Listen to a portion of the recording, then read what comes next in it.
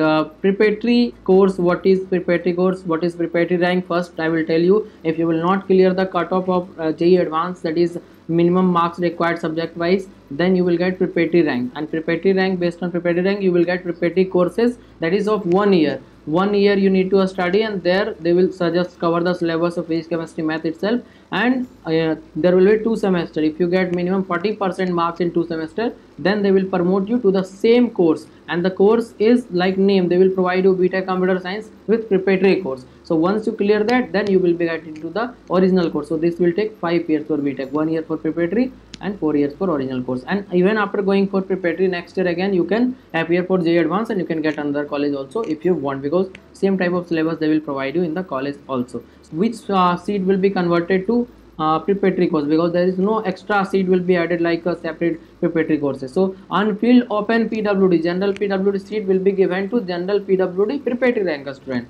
like uh, likewise general ews pwd seat if there will be vacancy 2 3 seat that will be given to preparatory. Similar type of thing will happen and actually this uh, thing will have uh, will be uh, carried over for SC ST student also. If they will unable to clear the cutoff they will also get the preparatory rank and they will get the seat so, this is Amit and here I would like to inform you about my complete mentorship and guidance program regarding PWDS trend. Many of you are having 5%, 10%, 20%, 30% like this disability and you have made 40% disability certificate. So you all are going to get a lots of problem in future during the physical verification. That's why I'm here so that you will not face any type of problem once you face problem your dream of going into the iits or iit will be shattered and after that no one can do anything including me so the physical verification will be done and after physical verification your counseling will start. That is very very important because there once you do mistake you will be into the wrong college. And all your preparation and effort will be vanished because that time once you get any college you will have to take. Otherwise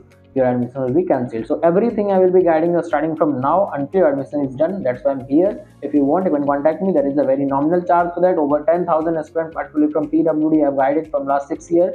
If you want you can contact me anytime so that you will get the complete guidance and there is no one who have more experience and information in pwd category particularly i'm talking about than me on whole youtube. You can check by taking the video regarding the pwd you will find my channel only. Thank you